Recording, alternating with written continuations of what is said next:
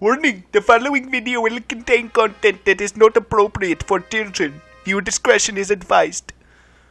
Well, what's up everyone? Welcome back for another one of my Pokemon Battle Revolution rant battles. Fuck yeah. And let's just ignore how horribly I pronounced children right there, because I'm pretty sure I didn't even pronounce that correctly during that intro. Anyway, um, enough about me being stupid for two seconds, even though, actually, to be honest, the entire point of this video is basically about me being stupid. As are most of my videos. Isn't it great? Alright, anyway. Today I'm here to talk about some stuff. So, something I've noticed. As far as me personally, I always seem to do the best at something when my back is against the wall. What I mean is that when circumstances really suck for me, that's when I tend to do my best. Like at work, for example, when we're super busy, that's when I tend to be at my best. I'm moving faster, I'm thinking smarter, I'm thinking faster, and I'm able to get a lot of shit done. So I feel like when you're pushed to those extremes, that is when you're at your best as a human. And that's just something I've noticed. Notice that I shine brightest at the darkest of times. And trust me, that's not an over-exaggeration because at work there are some pretty dark times. because holy shit, there are some dumb fucking customers. There's some really dumb customers. Like at the time that I'm recording this, the uh, football season just started up for the local high school kids and all that shit. And uh, my God, they come in there so late at night you know, so they have to keep all the staff on really late at night. Everyone's all tired and shit, and then we get swamped with a bunch of stupid ass high school kids being stupid.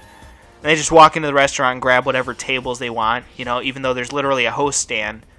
You know, you would think that, you know, at a restaurant, you know, you'd wait to be seated unless someone told you otherwise. You know, that's kind of a common courtesy thing, you know, just saying.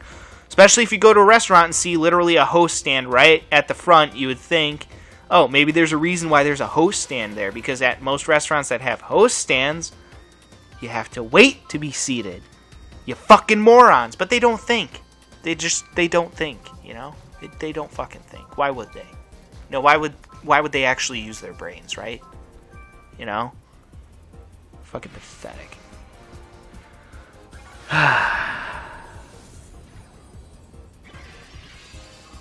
But I'm able to find that in those kinds of situations, I'm able to move a lot faster, do a lot more, and just, you know, be on my toes and think a lot faster as well. Just a little observation I've made. Anyway, that's really all I have to say. Anyone who has a problem with that can suck my big fat fucking hairy cock.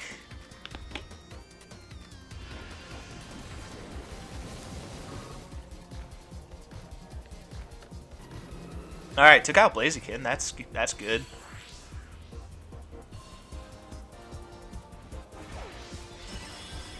Oh, great. Now we got Arceus.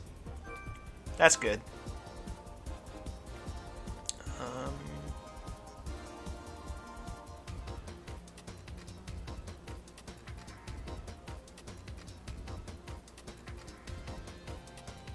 shit.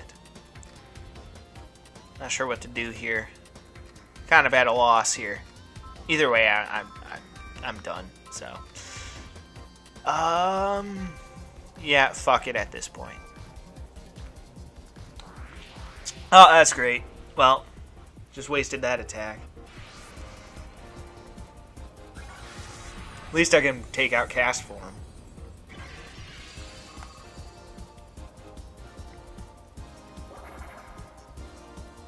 So that's something at least.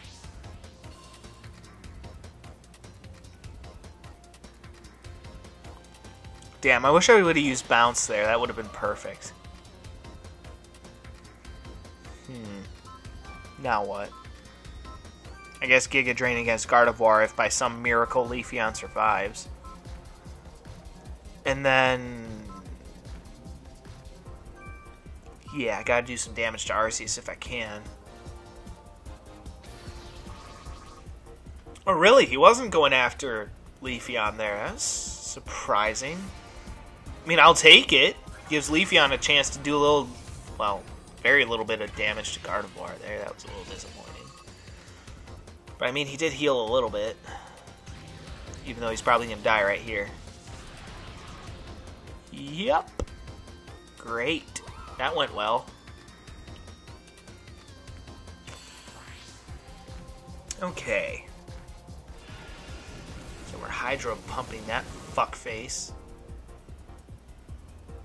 And it didn't do that much, which is honestly kind of what I was expecting.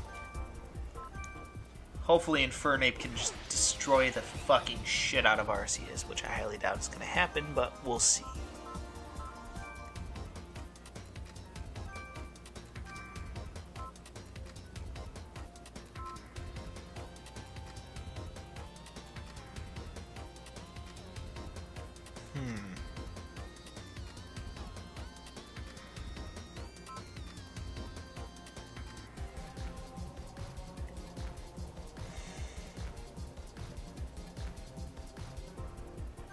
I bet he's going to use Fly again, isn't he? No, he did not. Let's see who this kills. It's going to kill Mantine. Yeah, there we go.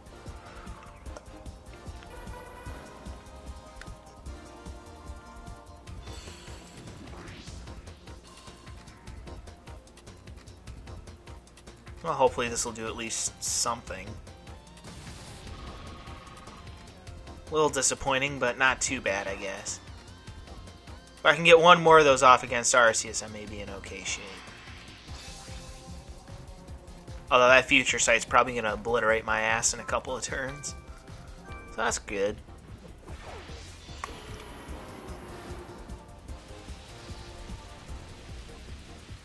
So Kyogre making it rain. Gotta get one more hit off on Arceus. And if I can, I've got to destroy Arceus once and for all. Hopefully this will be enough. Oh wow, shit, it actually was. Now I kind of feel stupid using close combat against a fucking Gardevoir. Kind of stupid, but okay. We'll see how it goes.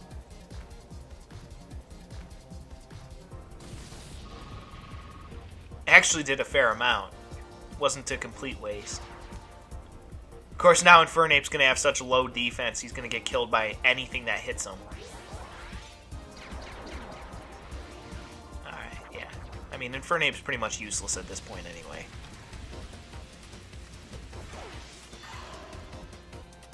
Mmm, boy. Would love to close combat that fucking Lucario. Ah, shit. Gardevoir's gonna probably recover a lot of HP with Dream Eater here. That would be the smart thing to do, so I'm gonna go after Lucario. Who went after Infernape. I was not expecting that. Wow. That's definitely unexpected. I was expecting Lucario to go after Kyogre. Interesting. Alright, one hit. Again, this rain is really helping me out, powering up my attacks. And then, of course, Gardevoir left with nothing there. That was that was good. Very good. Oh boy, I need to get rid of that as soon as humanly possible. I really want to avoid a one-hit kill this time.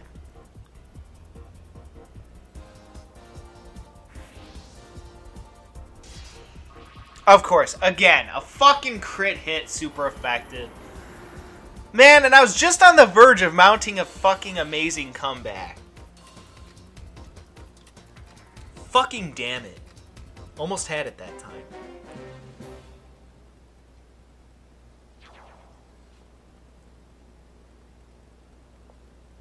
Oh well. Anyway, that'll do it for that one, and I'll see you guys next time. Peace out.